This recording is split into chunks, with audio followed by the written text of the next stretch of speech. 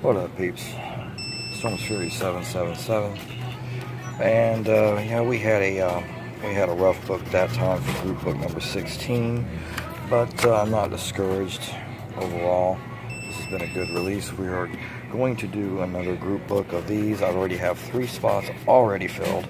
Joe, Trina the Purple Libra, is uh, joining in with us on this next group book, and Tinky Steel is rolling over. So we have three spots filled for the next group book. It's going to be this game. I'm just checking the losers right now, getting ready to cast the uh, winners in.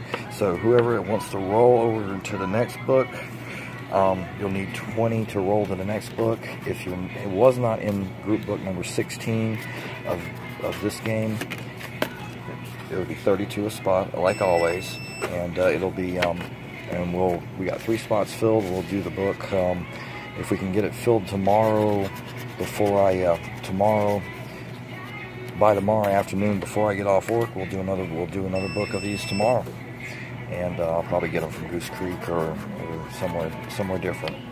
Um, it was bound to happen. We get a dud, but I think we're due for a big win. We've we've done 16 of these, and we've had one profit book, but we still have yet to have a uh, uh, we still have yet to have a uh, winner over a hundred. We've had uh, we've had plenty of hundred winners, but we have not had one like 200 or 250 yet, or 500. So we are definitely due to see that happen. All right, y'all. So you know the drill, and uh, let's get this filled up, and we'll uh, hopefully be able to do another book tomorrow, tomorrow afternoon, Sunday afternoon. All right, y'all. Storm Fury 777 saying peace out.